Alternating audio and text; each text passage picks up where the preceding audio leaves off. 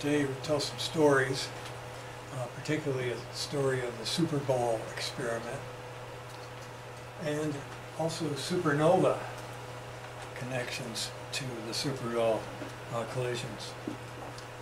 So we'll have a you know, fairly light lecture today with some fairly elementary stuff, but some of it we're going to use for the rest of the, of the course in various, sometimes surprising ways. The main thing I want to just show you um, is what was behind the simulations that you uh, um, have been looking at for the last, um, uh, well, at least two lectures. And the uh, idea, of course, is that the computer itself is, is using a, a computer algorithm called Runge-Kutta. Runge-Kutta 4 is actually our favorite. That's the workhorse for um, dynamics of any kind, quantum, classical, you name it. And the, uh, the idea is to make it so that it uh, conserves the energy, if that's what you're uh, looking at in a classical mechanics problem. And that way you have a quick check of whether it's um, got the right step size and all of that. We'll talk more about that later, but the first thing that you have to feed into a, a computer program is a force law or a potential law. And that's the main topic today is this uh, uh, actual potential uh, that the uh, Super Ball makes with first the floor and then with each other. And while we're at it, we'll go ahead and make some um, extreme examples of uh, collisions that involve potentials. And I've always been somehow weirdly fascinated by people that do daredevil diving at 80 feet uh, into a kiddie pool. And how do they survive that? Uh, what's involved in, in uh, the, the force potential ener kinetic energy uh, for a human being that's crazy enough to do that and do it again the next uh, day or so in some performance of some site. Um, so we're going to look at linear force, nonlinear force, and um, make some uh, statements about, uh, well, uh, exercise two today. What, you know, it'll be interesting to see how many of you came up with what we uh, think. And that's going to be the topic uh, right here. Here's what I'll tell us a, a story of sort of an allegory, a parable of the uh, Los Alamos Laboratory versus the Livermore Laboratory. And I've lived through both of them, and they have their problems, as any government agency uh, would have. But I'm going to imagine a very simplistic view of them. It involves this, if this were something that they were working on.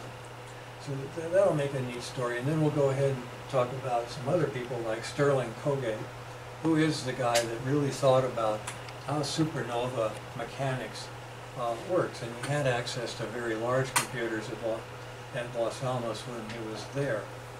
So um, that's it. Uh, let's get started. Uh, the basic thing that I uh, want to do here, and if you need to see the original paper for this thing, that's, that, that's right up front uh, on the second sheet here. But the, um, there's some other things that go with that that I'll mention, a little, a few of them. But in any case, uh, right here is some of the oldest geometry that we know of. And this is a ge geometry associated with, with Thales. Thales lived in Turkey, which is across the bay, sort of from uh, where uh, Athens uh, would be. The Greeks are not too far away, and he was uh, there and other places.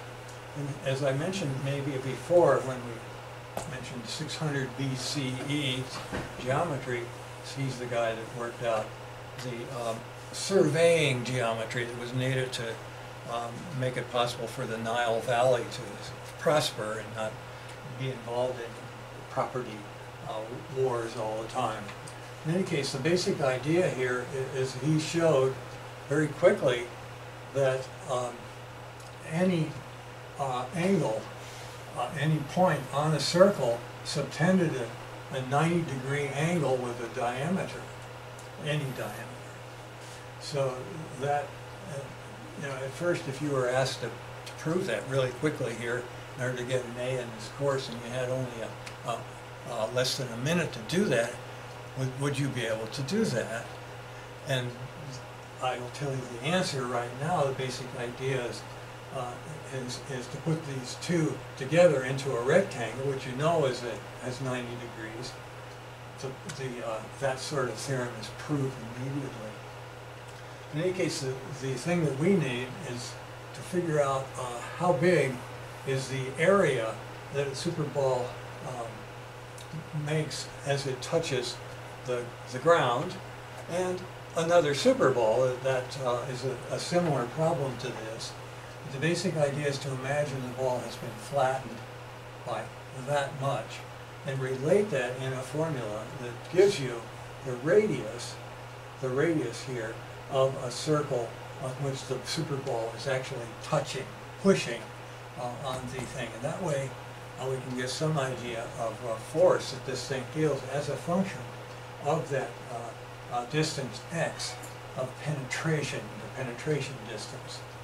And uh, the basic idea that Thales came up with after he got that amazing idea of, of 90 degrees of tension is that you can uh, give a formula for this very nicely because this right here, you didn't call this this, but the Greeks later called this the mean, uh, the geometrical mean of these two numbers. That is the square root of the product of the uh, diameter 2r minus the penetration times the penetration. And uh, that r uh, this thing right here uh, is that geometrical mean of x penetration and 2r minus penetration. And uh, for x much smaller than uh, the radius, which we will be mostly considering here, uh, that boils down to this. And this is a formula that you may or may not have seen when you took your optics part of physics. Uh, they would assume a circular lens, and you would figure out uh, the geometry that you see here for that. So this is really seen mostly as an optics thing, but it's really neat that it works for us here uh, in the uh, geometry here. The equ equivalent triangle, uh, x to r, this thing right here, uh, is is a similar triangle right here, r to to r minus x. That's uh, another way to state Thales uh, geometry. Okay, well, that, that out of the way, let's just go ahead here and figure out what the force uh, would be. Now this is an approximation uh, that would work for a balloon. If we didn't push it too much, if we didn't change the volume at, at all, uh, we're going to be able to um, calculate uh, just from pressure times area uh, the area being that pi r squared.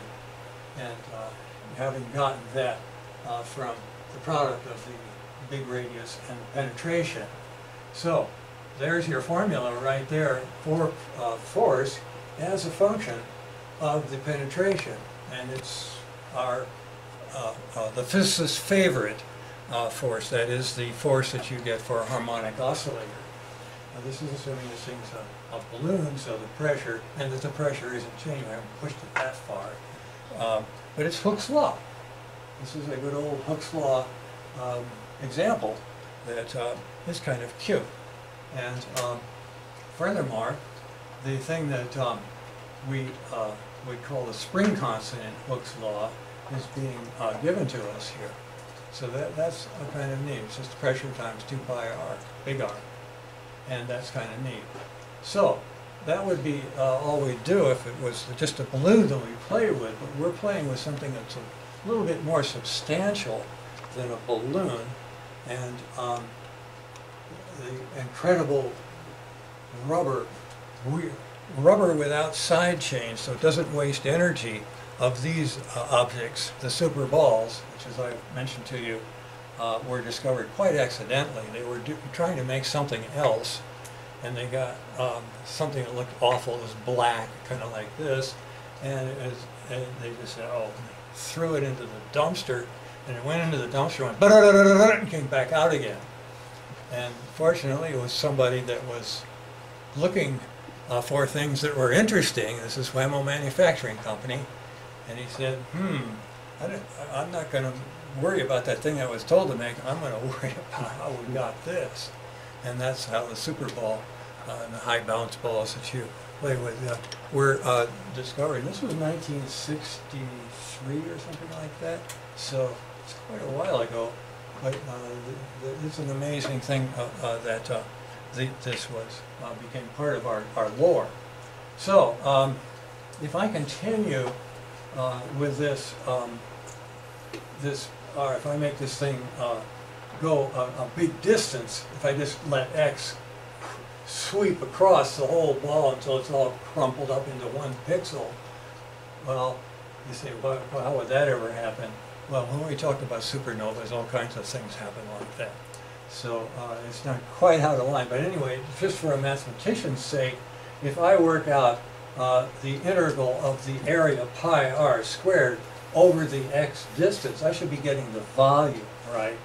So that, that's an important thing about this uh, thing to go a little bit further with our uh, formula for uh, the uh, force.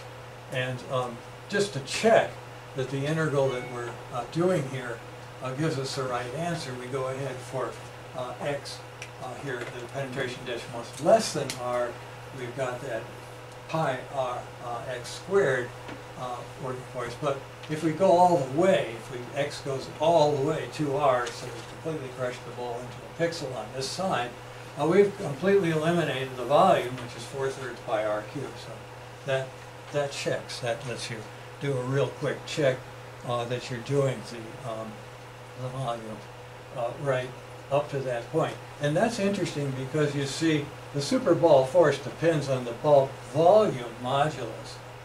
And this makes a nonlinear force. That's an important key thing that we're going to be talking about uh, later on and associated with that uh, a question about uh, why does an independent bounce model work so well.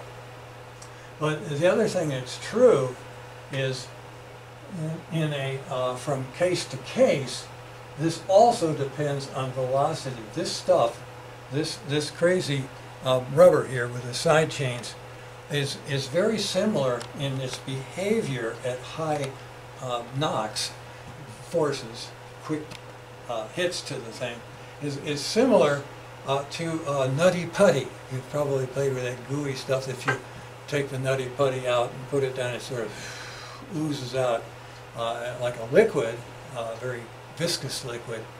But if you take that thing and roll it up and drop it, it is like a super ball. It has almost the same coefficient of restitution as a super ball. The nutty putty does, you know, the, the, if you pay for the expensive type, it doesn't have other purities in it. So, uh, our volume modulus and uh, the fact that it, uh, the adiabatic motion as opposed to isothermal, uh, that's what made Project Ball really bounce.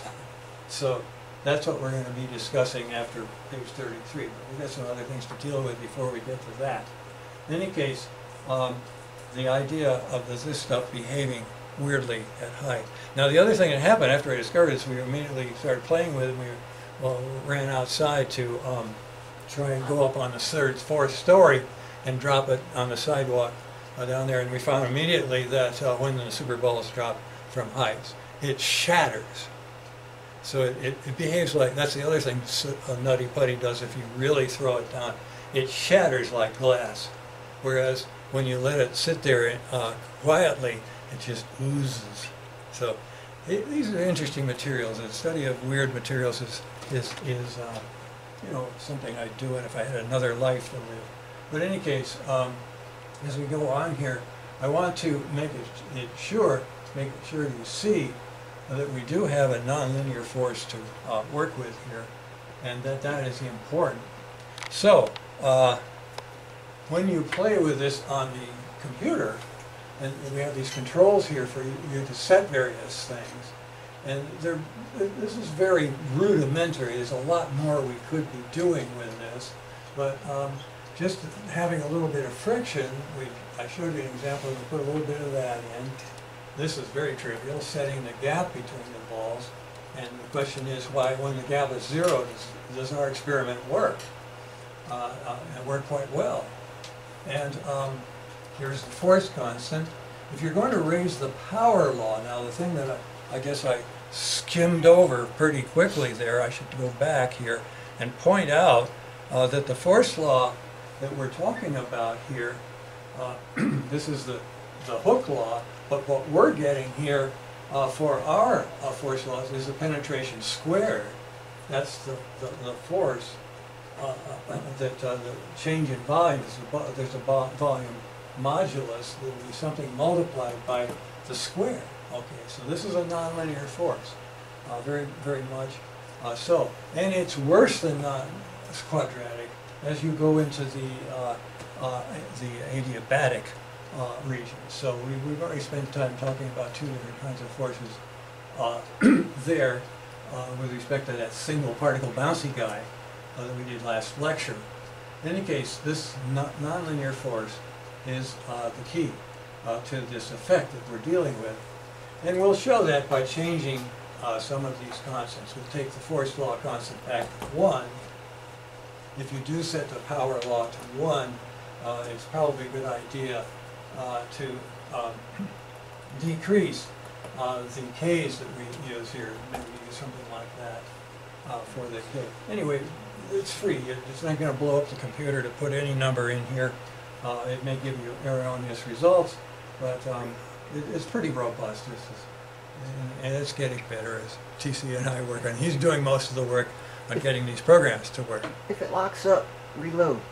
Yeah, that's that's like a the thing web about a, page. dr- a browser. No You problem. re- You're restart. not gonna, not gonna bust anything. Um, If it was an analog computer, and I'll talk about those later, Mhm. you gotta watch it out, they can blow those up. But uh, digital, pretty hard to actually do damage to the thing. Anyway, here's, the- here's the um, picture, and this is just the elementary picture of um, the forces, the potentials, uh, all at once, drawn all at once here. Now let me set the stage for the geometry. And we're going to be using this throughout the course whenever we talk about um, something in, that's a potential force field. The next thing we're going to do is uh, imagine things outside of the Earth and things inside the Earth just due to gravity. But whatever it is, we're going to have some kind of a curve for the potential. Okay, and if it's a harmonic oscillator, that curve is a nice parabola. Um, that uh, curve, u of x, will at every point have a derivative, the slope, okay, of this plot, u versus x. So basically du dx, but we're looking here at the actual ratio of the triangle uh, delta u to delta x, and that would be exactly, if you got it right, to the slope of that particular point, the derivative, okay?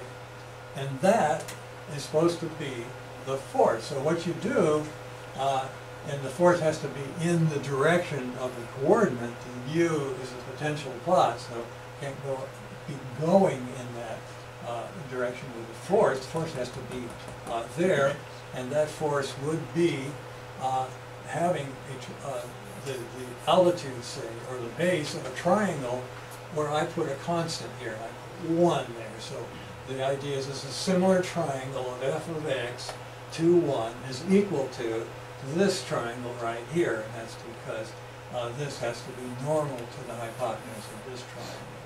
So this is just a clever way, and you'll see the uh, animations always drawing the particle and its force, and then this will be constant as it moves. Let's show this just to see uh, what I'm talking about here. Um, I will go ahead and uh, start this particular simulation, which is right after this page here. Um, I think we'll go, there we go. Okay, so there goes the ball.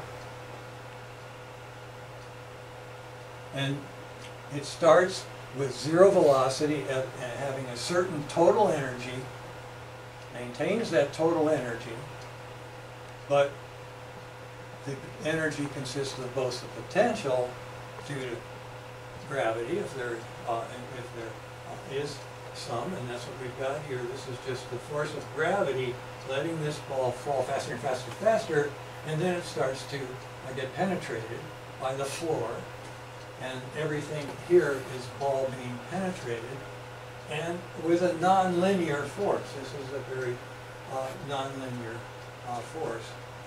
Now the force itself is the yellow line. And you can see that the force would be zero right at that point where the potential has zero slope. So he's going to pass me right there, okay, is where the uh, force uh, curve crosses the, the uh, x-axis. And um, it should be zero uh, at that point. And then this, because it's not wasting any energy, we haven't turned any of the friction on here, uh, this thing will maintain the uh, same uh, total energy. But the friction on, uh, it starts to go down, but only, the friction is only designed to show up when the ball gets bent. So any, any penetration is accompanied by some amount of friction, and can adjust that uh, too in these programs. But right now, we're just going to do the purest uh, examples of this. And I just want to make clear uh, how this geometry works. This is something that would, you, if you're going to, uh, you've got, some of you guys are going to be doing U- UP physics, welcome to use these things as showing uh, the uh, students how forces and potential work. We're doing sophomore physics here, just uh, with some extra twists to it. Okay, so uh, let me um, go ahead just a little bit on this one here. Uh, to, and this is from the old programs before TC came along. These are the old Mac programs here. See all the pixels? Um, 1990 is when I started trying to get you know, teaching improved by actually seeing things in motion. Um, what I would like to do is switch over to a picture that involves that. But uh, you might as well look at some of the old stuff for a minute here, or a second would be enough time. Um, as I say, increase for nonlinear. If we're going to do nonlinear, have to increase it uh, to get something to happen. But in any case, here is uh, where you are starting off, and this one, um, it gets got a little bit lower here, so talk about it easier.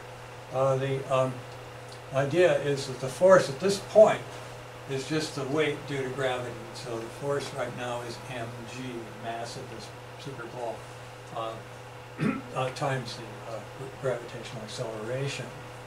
So that that is, uh, and just to make sure, I'm going to quickly see if this one is running. Um, well, it's the same as that one, so I, I thought maybe we'd rescale it. So no sense uh, playing right now with that, so I'm gonna pause this and come back uh, to the uh, examples, because what I want to do is compare this starting at the height, h, and then the point where it has uh, no force on it at all, but of course a lot of velocity it's picked up, and at this uh, point it is uh, all kinetic energy. This is the total energy that it had before has now become kinetic, so you calculate how fast it's going uh, by just solving that equation, where the force is zero. So maximum kinetic, kinetic energy, uh, zero total force at that moment. And the little diagram has uh, turned uh, the uh, thing up, this line up here, so there's nothing left uh, for the F. But it's about to come out the other way to drive the ball away from the floor, okay? And uh, let's see if there's anything else. Oh, and this line right here is just the giant ball coming in. And you see it coming back and forth there uh, with the uh, coordinate point. Magnified. Okay, is that clear, or, or di- di- what's going on in the uh, diagrams here? And then finally, here's the maximum penetration. Okay, also uh, zero kinetic energy. But if there's been no friction, we better have exactly the energy we started with. So we'll always be on that line with respect to that. Now you have this huge force here. You've turned the thing around. You've got uh, this guy here normal uh, there with quite a bit of force. Okay, the maximum uh, pretty much that you're gonna get in this result. So there's all three of the, of the cases, uh, just to make this clear. And this is, um, uh, one of the figures in this, uh, chapter we're studying right now. Okay. Now, uh, should probably point out that when this was happening, we could have been integrating the um, force, which goes to zero there, uh, with respect to the distance, the penetration, uh, distance upon uh, the penetration. Um, the, here's the y-axis is what was the x-axis over there, and we're looking uh, at the area. So as I integrate uh, the force, I should be uh, tallying up uh, the energy uh, when I get to, to a certain point here. And then I should have zero as a result, and then I have exactly as much uh, integral of the force on this side. Okay, so when we're talking about um, total uh, potential energy as an integral, have to break that integral in, in two pieces with equal amounts of area, that is magnitudes of area. But this one is minus, that one is zero, that's the, the result. Uh, the sum of those comes to zero and maintains uh, the value uh, here. The integration constant is, uh, well, constant, like it's supposed to be, for an idealized thing. Okay, so when you talk about work, energy acquired, as area of the force curve uh, integrated um, with a minus sign. We're physicists, so we have a minus sign here and a minus sign there.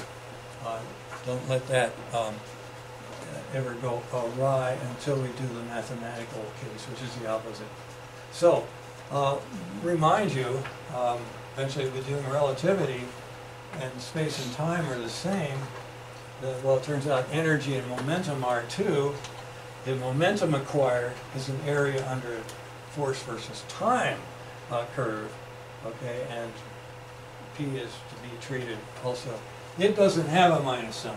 F is equal to the derivative, but that, that minus sign is needed because relative, special relativity puts an extra sign on the time as we're going to show uh, later on.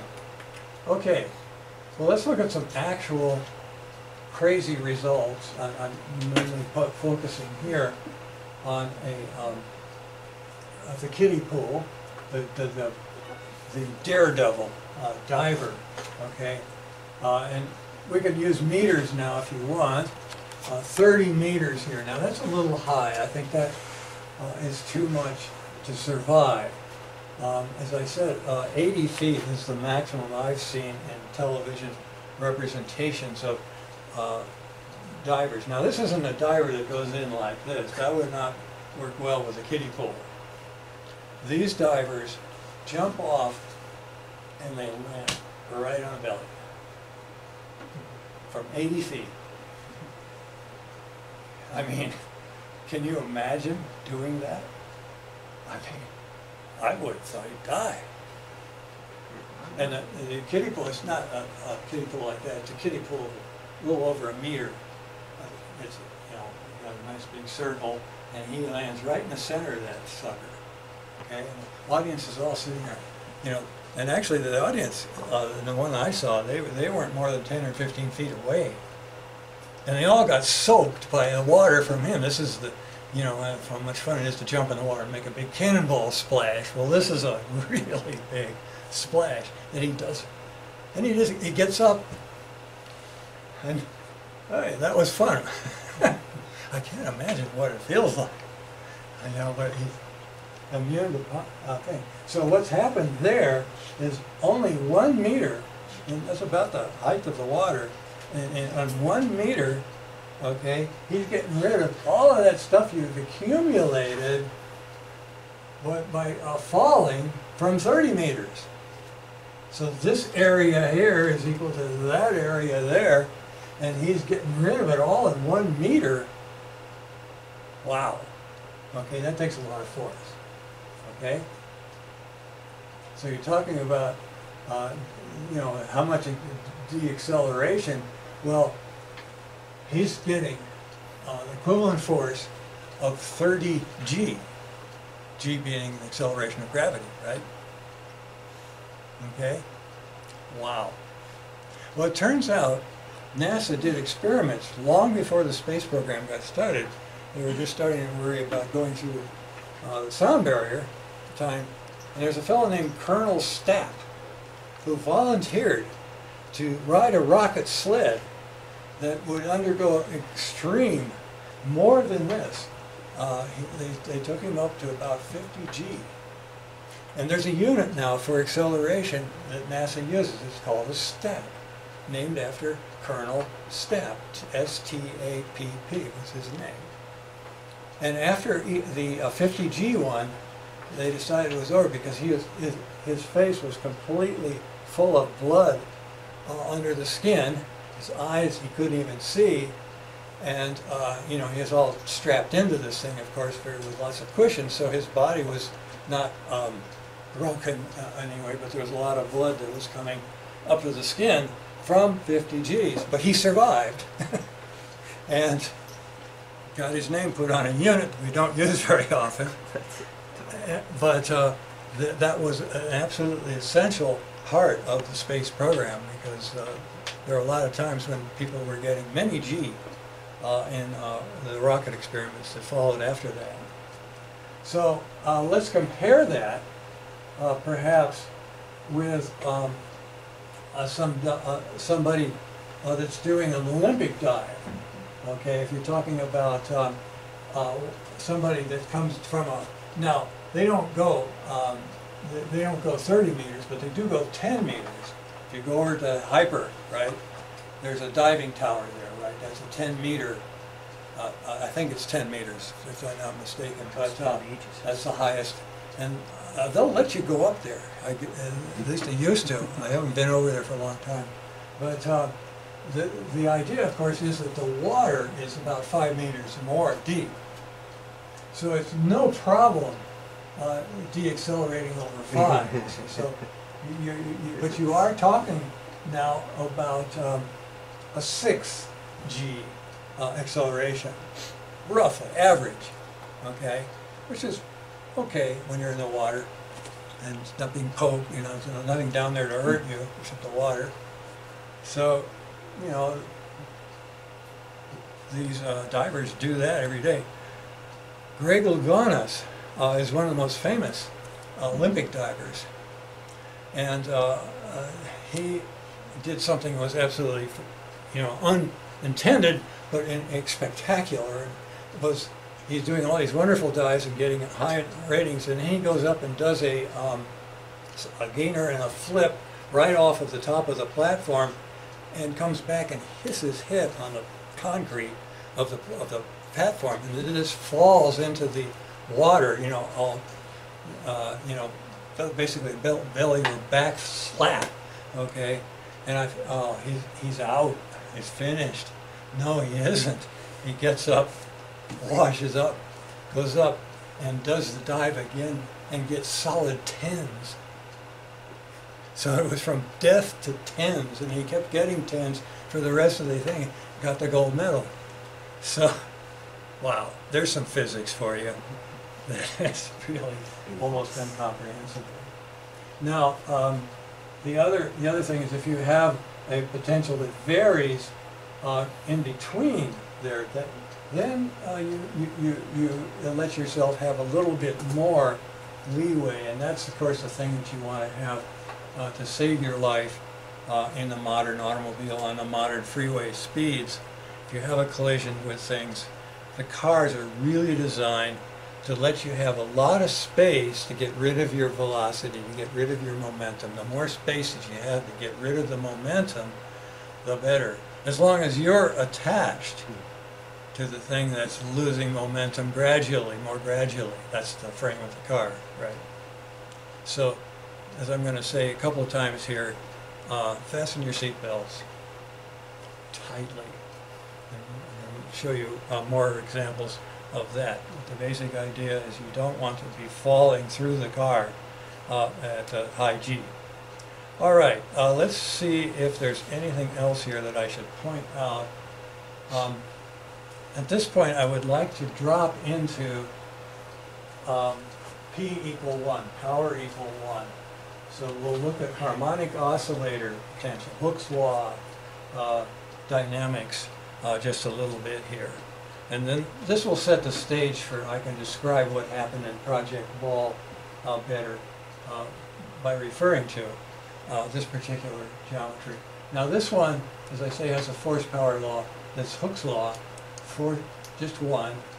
So it comes ripping down here, a nice gravity, pops back up there. Same thing we looked at before, except now we've got a parabola here. That's kind of neat. That's the potential associated with Hooke's law. Okay, it just so happens that the oscillation point would be right out in the middle there. So th- this is just another thing that we looked at. And uh, we're talking about a linear force law, this linear line here, okay, the straight line right there. Is just the force kx with minus sign. Obviously, it's pushing this thing away from down. We're going that positive and this negative in almost all of the things we've said so far, which is not conventional.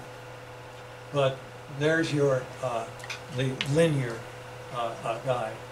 Okay, um, let me go ahead, um, get this thing, um, so it doesn't use CPU because we've got other things to do here. Uh, I'll pause it and uh, go back here. And while we're at it, we probably ought to do the same with this one right here. So I think I would like to do a couple of di diagrams on that uh, screen as well. So let's bring this one up to speed uh, where we are in our discussion here. There's the integral area uh, being looked at, and there's the diagram thing we just saw. Okay, so now what we're talking about, and this is a geometry thing that I will be giving you in, a, in the next problem set. Uh, what's interesting about this, and this is not something we had to worry about in Project Ball, but if we had, would have made things really hard for us. But the balls are pretty hard, so they're more like this, and we don't worry about the little drop off of the parabola that we were just looking at there. But as you make a, uh, the ball softer and softer, this is a pretty hard super ball here. If you make a, a, a softer one like a balloon, a, the balloon, remember, does have a Hooke's law force, so it's very appropriate to use this diagram uh, for a um, beach ball even, but um, a balloon would be perhaps better, of course, more gentle. Um, you have to worry about air resistance of falling. But in any case, what uh, is interesting about this particular thing is that um, this uh, point right here follows, as we go to uh, softer and softer forces, uh, this, this point here follows uh, a, a curve that looks kind of like a parabola, and that's the thing I'm going to ask you to uh, um, calculate. Very uh, simple problem, but worth thinking about because you don't think about it much when you're talking about the super ball hitting, and it's none of this fancy stuff was anywhere in that project ball uh, at USC that uh, we'll be looking at uh, shortly here. In any case, that uh, is one piece of geometry that's worth talking about. And it doesn't matter whether it is a linear force. Any one of the forces is going to have some kind of, of behavior that goes with the potential into the object if the object is soft enough to entertain that um, that entry. Okay, now this is where we uh, talk about um, what the nonlinear gives you. You have it, and this is an extreme nonlinear uh, uh, curve. Um, you got a flat part. That's what nonlinear really means.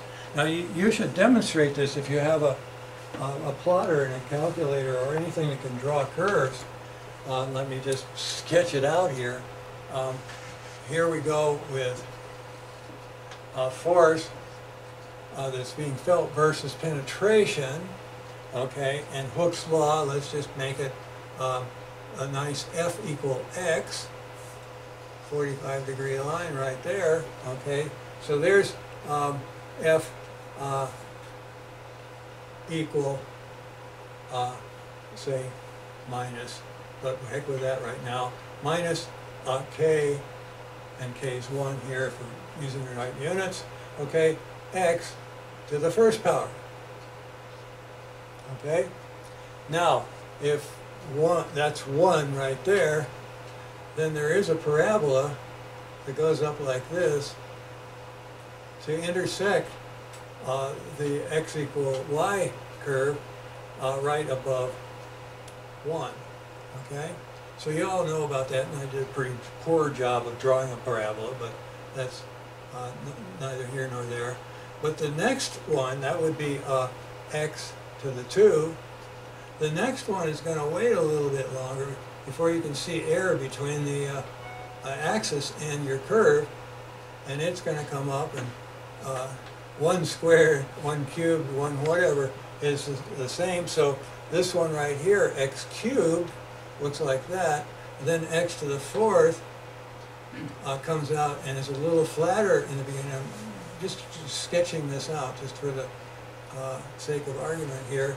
And as you go to x to the 100th, it's going to go all the way down here and then go zoom like that up there. Okay, so there is uh, flatter and flatter parts to a power law. As the power law goes higher, bigger flat region. Okay. Well, uh, what does that mean? That means that in our superballs, which are definitely nonlinear forces, more like uh, third power, um, and we'll talk about how we got that later on.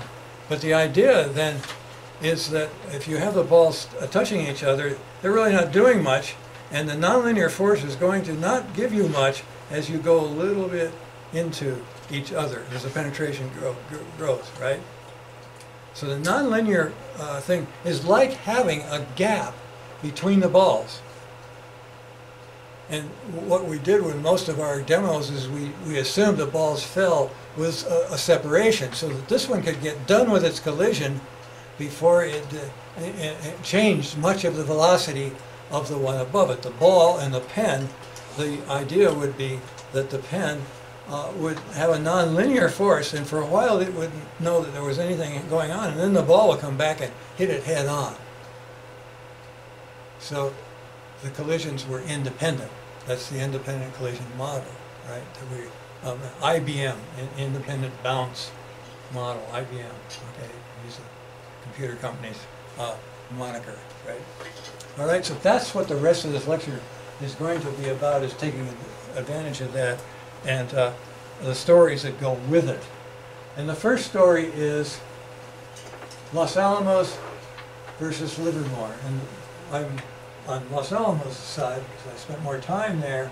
Livermore was uh, a different level entirely. They just had more money. They had they, they were in contact with the uh, money bags in Washington, much better than Los Alamos. But Los Alamos, a bunch of people out in, out in the desert, and so uh, we start off with the rum company here. Um, what they do when they investigate the Super Ball experiment is have this geometry that's on the board here still uh, to figure everything out for them. So they're using rudimentary, more rudimentary methods uh, to analyze uh, this phenomena of the of the bounce, the extreme bounce.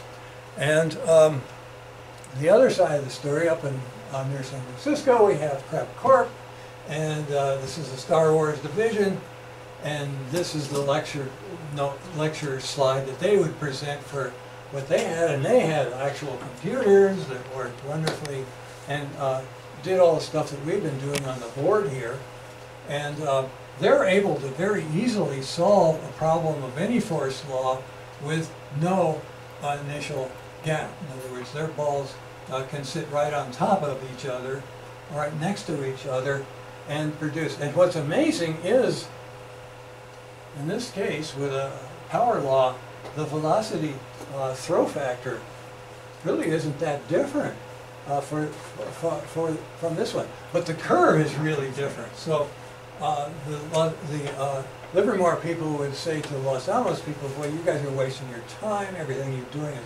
wrong. Um, except for the results, you're getting, you're close to the, the same results, but, um, you know, the whole idea is, is screwed up. So and that's kind of what happened during the isotope separation programs. They had their atomic vapor methods, we had molecular, um, there, yeah, turns out the molecular one won in the long run, but that's a whole nother story. In any case, what I'd like to just show you real quickly here is the actual um, result here of a zero gap uh, simulation. Okay, there you go. Bavoom. Okay. So uh, here's where the nonlinear force allowed pretty much the collisions to be independent. And we got not 2.5, which is what we are seeing uh, for the uh, um, for result we did with a Super Ball that had a 7 to 1 ratio. The 7 to 1 ratio uh, wound us up uh, right at uh, uh, 2.5 on the, on the scale. There was a line that would go right through there. So that is um, not too different from what we're getting with this fancy pants computer here that can work out uh, th- these results. Now, at this point, uh, say you have a meeting between them and these, we go to the same scientific meetings, and we usually solve our differences uh, by just, you know, over beer or, or something. And here's what would happen in this case, if I imagine this allegory uh, to continue to that point, was, um, here's the settings that you use to, to make that. Here's where I am going to um, show you what happens if we have Hooke's law between these two. Th- th- This is um, uh, uh, really quite, um, for us, uh, surprising. Look at that, no throw. See it again? I'm gonna get the mouse here untangled. Reset T equals zero. Watch it. See the little arrows in there indicating the force? Perfectly balanced. Hardly throws it at all. They all do differ in velocity very slightly. Of course, after that, it all goes crazy, but now independent collision model is going to be working most of the time. You see how the linear thing behaves really amazing. Now, what, what I would like to point out uh, here, I'll go ahead and do it one more time and then pause it. When I first did this experiment that let me discover this, uh, this throw effect, I expected them to stick together. I expected what you're seeing here, not from any uh, being a genius or anything.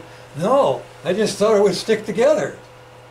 Okay, I didn't realize that the independent uh, collision model was going to work in my face. I uh, here see that if it was a linear thing, it would have done what I stupidly expected. Okay, so that that said, I um, uh, point out how uh, you know why that nonlinear linearity is so important uh, to making uh, this effect work. Okay, uh, let's see if there's a thing. I'm going to try to bring this guy up to speed. I think there are a couple of things that we'd like to show uh, together. But this one kind of nails it right here. This this little picture here, the the, the no throw occurs with the Hooke's law force, linear force, is very much uh, the the uh, thing that's needed in order for that to happen. Okay, so uh, let's go ahead here and point out really the, the key thing. The flat part, nonlinear force, gives this explosive effect. If you don't have that and you have this fall, this is what you get. And that's kind of kind of neat. So a little bit of a you know physics. Now, where where does this um, play a role in this thing? I just realized I put away the thing that I need to um, show this with. So you see, um, anybody see Newton's balls around here? There- I forget where I put that um, thing, but you've all seen the hanging uh, thing. I can't remember what I must have done with that. It's gotta be somewhere right here. Yeah, it does, doesn't it? It always manages to hide uh, wherever. After a cleaning session. Yeah, and After after eleven, is that long? Here they are, right here. Oh, good, good, good, good. I'll carry them over. So, here, here the deal is, and the reason people make these things, is that it doesn't do uh, uh, that. Uh, when I uh, pull this guy out here, I better turn around so that the camera can see it, but when I pull this guy out here, one guy pops out, right? Okay? I mean, then you sell these things, right? They- People buy this, it's, it's a fun time. You put, pull two back, and two pop out, right? Pull the whole row back, and one pops, right? They're going the other way, right? Okay? Now, that is not possible if the force in there was a Hooke's law. It would make a mess. I'll show some examples where it does with the whole, this thing, with the whole thing going, okay? So, uh, each one of those collisions has to be finished transferring momentum before it gets to put it into the next one. And it takes a nonlinear force to do it. So it, it, it would of course work if there were gaps between it. But the thing is that the nonlinear force puts an effective gap. Okay, now just out of curiosity, uh, now that all the homeworks are in, how many people, just don't be afraid to raise your hand, if you figured that out, did that occur to you, you see? And if you, if you interpret my answer a little bit, it could potentially interpret to something like that. Well, I'll be But- gentle on grading, but uh, you, you see, there is a very solid answer for how this thing could work. And with the one-third, uh, take almost all of the energy out of the ball, right? Remember that when you do three to one, right? You gotta have the nonlinear force to do that. So, cool. All right. Well, let's see if I can um, say anything more to this. This practical no throw is once again this lesson. You're out in your car, you fasten your seatbelt tightly. Okay. You make it so it's a linear force, it's gradual, uh, that you're going to be deaccelerated by, and, and be a big difference from having it loose and you go, uh, you know, 4G and then hit, right? And possible death, right? So, um, make a, you know, make that a part of the thing. Okay, it's time, uh, just to mention what happened in the Super Ball, uh, experiment. It wasn't all roses all the time. Um, I did it because the students really looked bored with the labs. At least some students came and said they were bored with the labs, and then one, uh, several of the dental students came with they didn't have this whole thing made like that, but this is what we used uh, as a drawbridge to get out of the way of the pen uh, flying up. And the idea of the whole project was to be able to figure out what happens with multiple. That will be uh, the remainder of, the, of this lecture. But let me just very quickly go through uh, this. Uh, uh, Laura, after we started doing this, it caught attention. It, it- for some reason, it, it was, first of all, it was called Project Ball. It was the, uh, you know, 60s, okay, so everybody thought it was sexy. But um, people thought neat because we put that on the door, Project Ball, room 69, it happened to be. I mean, you, you, you catch attention however you can. And sure enough, it, uh, this ended up on Ray Duncan's report on NBC. Uh, and you got to realize this is the era where really only about four uh, television channels total in LA. Okay, so at night when people are watching television, it was very probable that they would be looking at NBC, was the biggest broadcaster. And this guy was a real card that pla- looked around for interesting things, and he caught a sight of us.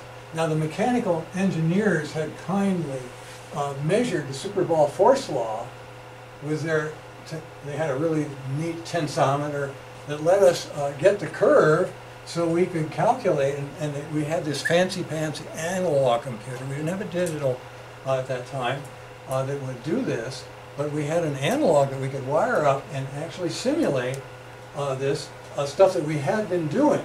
Okay, so here we are in room 69 doing all this stuff, and most of the time we're just screwing around. I mean, it was kind of cheating in the sense that they didn't have to do the dull lab, but, you know, they, they were learning things and it was, it was looking pretty good.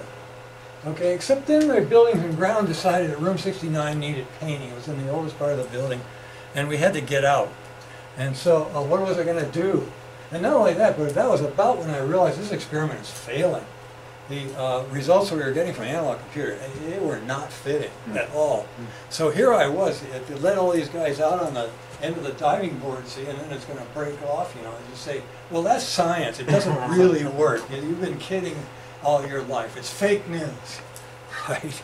I, I, you know, I couldn't say that, uh, but, um, I figured that maybe we'd take our attention, uh, uh, and actually go down to Wham-O and see, and I talked to the Wham-O guy, uh, he said, yeah, come on down, sounds interesting. Maybe we make a product. And so we, I, everybody had dollar signs in their eyes, and uh, we figured, wow, you know, we're going to be the next, the next cool toy. So we got a car we went down to San Gabriel, and uh, the, by the time we got it all set up, the, uh, it was the day in which the San Gabriel um, Wham-O uh, inventors were doing alpha waves, and that it was thought that if you put this uh, thing and measured your alpha wave, you could do that uh, pretty easily with uh, just a, a, a couple of you know things like an electrocardiogram. And um, the idea is if you could control that alpha wave, you'd you'd, you'd improve your your creativity. You see, and you think up new new things, right? So they they spent a lot of money on that, and they weren't going to uh, much of them were going to take time off from something important. But we did get to talk to the lawyer, uh, who you know kind of really ran the place, and he said, "Gee, that's an interesting thing, but it is not probable uh, for us. We can't do that. It's dangerous." And it, and it was. I mean, we had this little thing that was going to shoot a space shuttle, uh, uh, uh, you know, up into the little styrofoam uh, rocket and thing that was going to shoot it up. I figured that was pretty safe, but no, it, it goes fast, and so you can put people's eyes out if you don't do that. Now, Feynman's suggestion at that time, I, a student of Feynman showed this to him, and he says, "Wow, we can do a ceiling dartboard." well, that isn't going to go anywhere either, because you don't want to have a dartboard that goes vertically uh, into people's eyes. So we were really bummed at this point because it looked like our dollars were not going to materialize.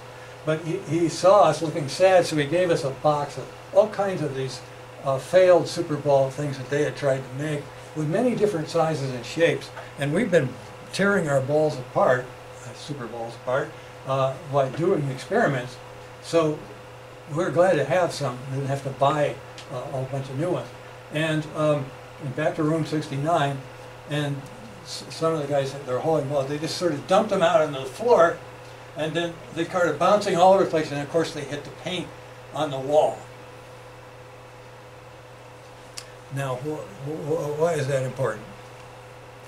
And it's the only time that I had an instant solution to a problem. It usually takes me months to get something solved, but this is where I saw it immediately.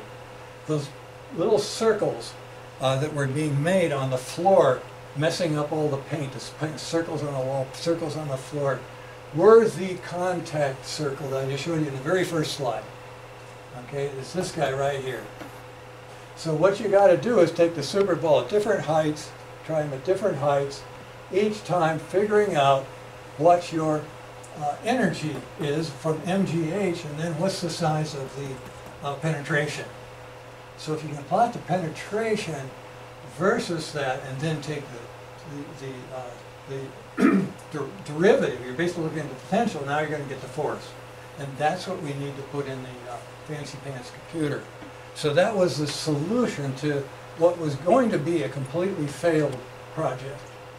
So computer theory started to match uh, this is force and potential, just to show uh, what the curve was. That that worked well enough to fit the uh, results, both of the ball and the pin, uh, for quite a few ratios, mass ratios. Right, starts to go hell here. That's expected because of friction that we weren't doing a very good job of keeping track of. So that let us do this guy. That let us do calculations of this guy. And this guy is this guy.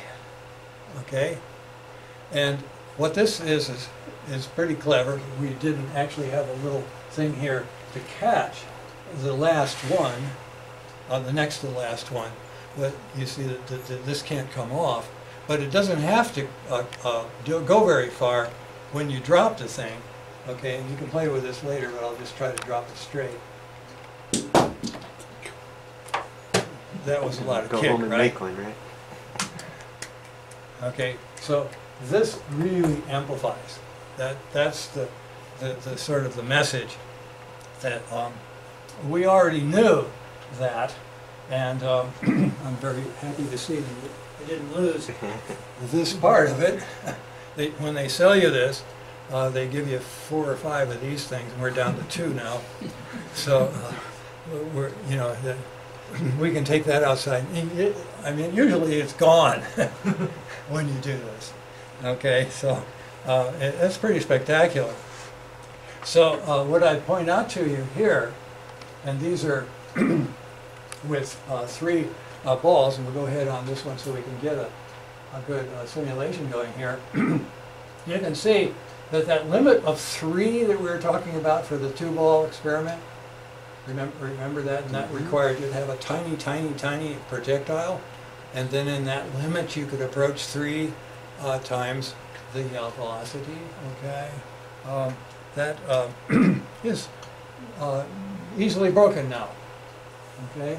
The, the, um, I will go over here and see if I can get that. So, and, and this is with a nonlinear force, okay? Of course, because when you put them together, they're going to pretty much finish their their collisions with whatever's below them before they do much to the whatever's above each one. So this this thing already here, without any any adjustment, is is beat the three record, and it's just a normal size. I'm not optimizing this thing at all. So th- that is the the key uh, to this, and. Um, you get a pretty good, we didn't have this little clever thing. Uh, I still haven't published that. Uh, maybe somebody wants to join in and do that, but it's really uh, pretty easy to figure out what this is. You do the first collision. If it's an independent bounce model, uh, you just take the ratio of the first uh, pair, 100 to 30, okay, and go up and uh, do your, your ruler and compass thing, get a value. And then you just go over to the 45 degree line and down to the baseline and, and do the next collision with whatever slope it is. Okay? And so it goes up, you know, to say there, okay, if we draw the arc. So here you see we're getting pretty close to what this particular case uh, had with 130 and 10. Um, that's kind of neat. Now, once again, this isn't going to work very well with a linear force. Okay? Here come the in contact, all right?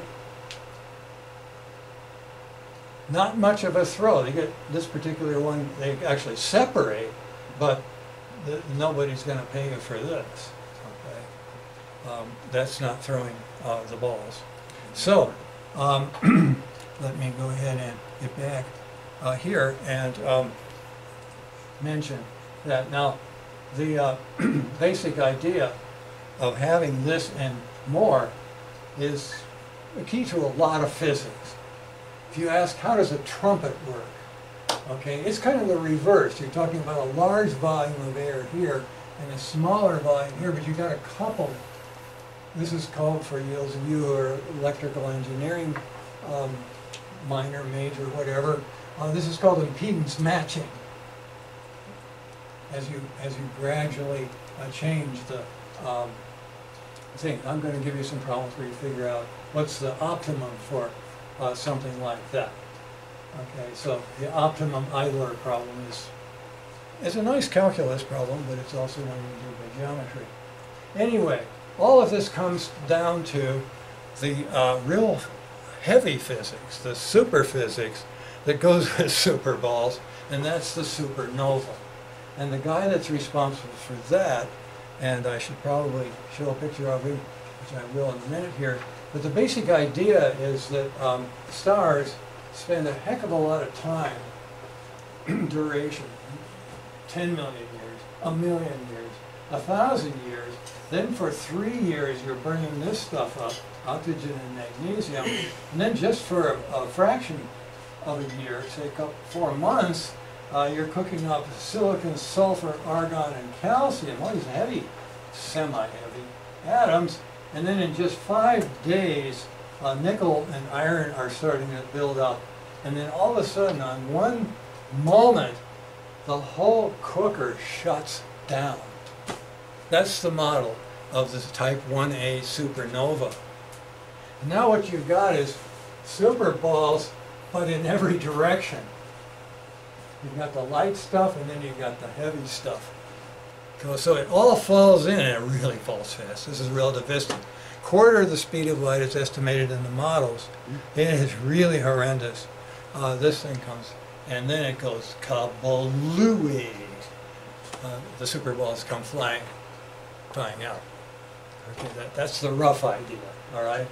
So, uh, how much uh, credence can we give to something like this, uh, which is described in science by a diagram that this guy uh, thought of uh, as one of the first to really uh, make sense of some of this, okay?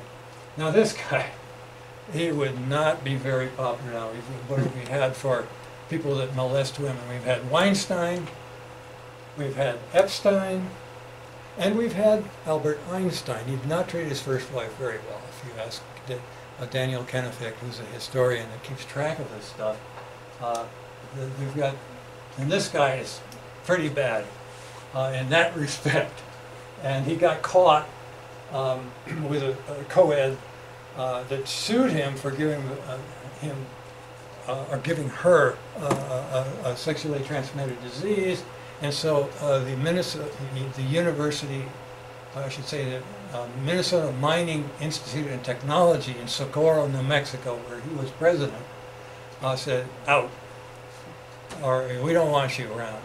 And um, he proceeded to Xerox his asshole on a, a resignation letter. so, off color aside from Mr. Colgate. But other than that, he's a great guy. And this is the same thing I say uh, for Feynman. Feynman is a tremendous character, very creative and wonderful. This guy was out Feynman, Feynman because he had an airplane and he was trying to figure out how you made thunder and uh, sometimes got caught near tornadoes. He's a real character. Anyway, he proceeded to get a patent with the, these guys, uh, Holmes and, um, uh, well, Ed Holmes and William Holmes, uh, the father and son, and then Stirling got this patent. But they didn't know that th- this is, you know, in 1990, they didn't know we published this.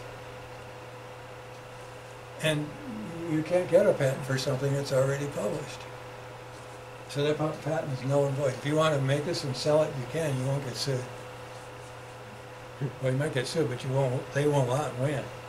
Okay. So anyway, this Astroblaster, the seismic accelerator is what it's called now. They, they, they copyright the name, of course, but, uh, the, the, that's the history of this. Now, let me, uh, finish off here just to, um, take some more examples of this effect, this, this effect where you get something to go bang and, um, um, uh, send you flying. This is a, an American thing, it's stupid. Um, it's called the buckboard, the western buckboard, it's mostly in the west. Uh, I don't know if they're raining in Arkansas, probably.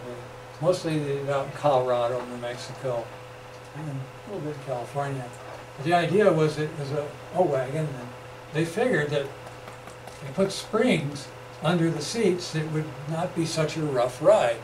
Um, and, um, well, that sounds like a good idea, but um, really, it's more like that. And so people were getting killed just going down the road, and I mean a bumpy road, with a buckboard at, say, uh, 15 or 20 miles an hour. A good set of horses that can pull this thing that fast. Um, people were getting regularly thrown into the air. And that's just the Super Ball effect. Okay, right there. All right. Now you might say, oh, but it's a spring. It's, but that's a non-linear spring. Okay. So you get thrown, and it's dangerous. So that, that I think is, is worth uh, pointing out. Now, all of these uh, simulations here with three, four, you play with those, they're, they're gonna do exactly, or close to what you saw in a real demonstration. Um, I might as well do uh, this particular guy right here. This is a four tower, four uh, thing that gets. this one is not spectacular simply because it's all the same mass. It's kind of neat in the sense that uh, the, the, the whole thing gets turned around. They're all the same mass. Now, of course, it might get a little crazy, but it's, it's maintaining uh, its spacing and its velocities are only a little different.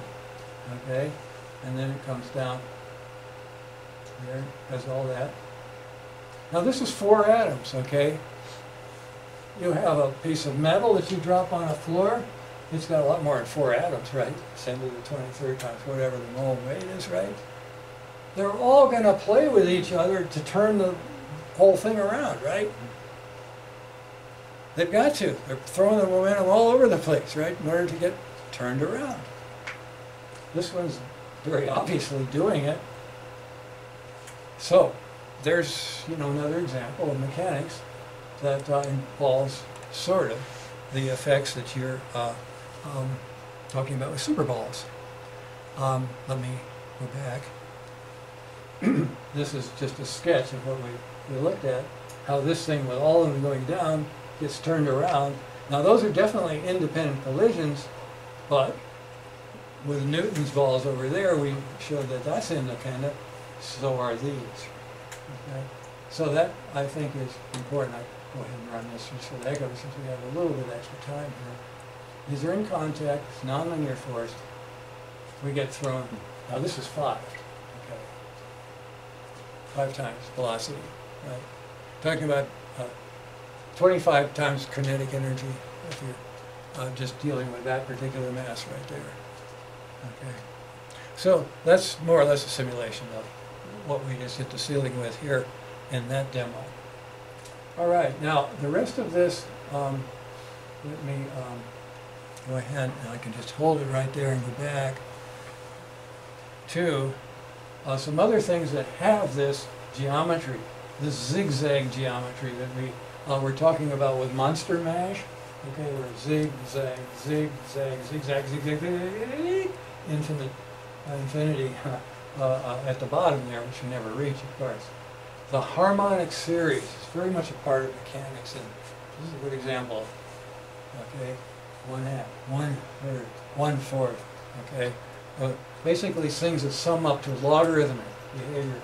So here, this isn't as, as exciting as any of the stuff we do here, but it's worth noting that there's a geometrical construction for Courant collisions. I make a whole bunch of uh, uh, atoms lined up, I'm sorry, cars lined up in a Los Angeles uh, highway where some guy here is uh, once again uh, texting and doesn't see that everybody stopped. Whammo! And crunch, okay? Most of the cars are good at crunching, so we'll assume they're perfect at it. And then uh, the next thing you do is figure out what the next crunch is, because now you got two cars moving, and then they crunch on a third, and this goes on forever. Do, do, do, do, do. Okay, so this is just the monster mash turned over, and we're only using that part that has the crunch occurring at the center of momentum. You do it, uh, uh, have a whole bunch of guys colliding with a single thing. This is more common on the Los Angeles freeway. Everybody's going except somebody that's stopped for some reason. Very bad. That's crunch, crunch on this side. Okay. Hmm. Interesting. All of this are clever ways of doing the uh, geometry. Now you can have the, them all moving and all stationary and figure out what happens in that mess. As I say, forget about it.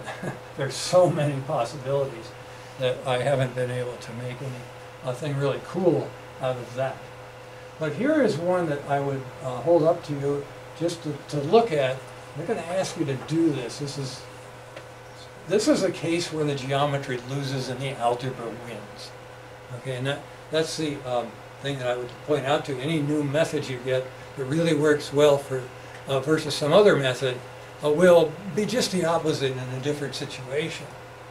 But uh, I went ahead here and I figured out what would happen if I start out with a bunch of balls lined up and each one of them has a little charge that it fires off and it sends the first ball back and then the, the collection of balls starts to move a little bit and then the next one fires, boom, so another ball comes off right here, okay? And this is all indicated by these lines here and here's the uh, harmonic uh, geometry that is working uh, to give you that, those uh, spacings there. In any case, after a while, about here, when it goes pow and blows one back at the same relative speed, and making all the same to be simple, all right, uh, it's got a, a significant amount of velocity, you see. But what you have to realize is that this is the mechanics of a rocket. This is rocket science. You, you know how people say it isn't rocket science or some, for something that they don't like. This is rocket science. This is the beginning right here. And it's really depressing if you're interested in going somewhere. If you're interested in getting off of this planet because you've completely screwed it due to the, uh, uh, uh, eroding climate throwing all CO2 into the atmosphere, okay? We're not getting off this planet. Th- th- th- This is the way we gotta go, and it ain't, we ain't going. We gotta fix this planet. Uh, that, that's for sure. A- And, uh, th- this is an attempt to show that. And here you see it as a um, logarithmic series, okay? But you can do all of this very easily with algebra, that's calculus, okay? Here's the basic differential equation that you're solving. That's pretty easy to integrate, that's a logarithm, okay? So what you're getting there is the logarithm of the mass ratio of what you had as a whole ve- rocket vehicle at the start with what you have at the end. Fin versus in, okay? It's a logarithm of that ratio. Logarithm, and they, logarithm just doesn't want to go. You, you